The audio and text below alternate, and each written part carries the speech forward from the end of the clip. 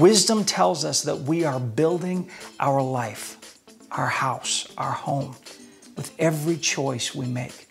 The decisions you make today will always be the life you live in tomorrow. You know, Galatians 6 7 says this it says, Don't be deceived.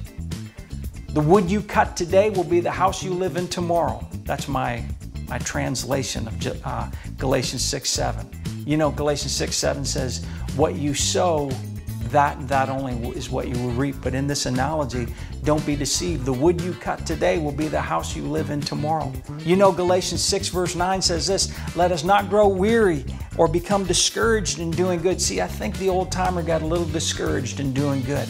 And you know what? The race isn't over until the race is over. Galatians 6 tells us don't give up.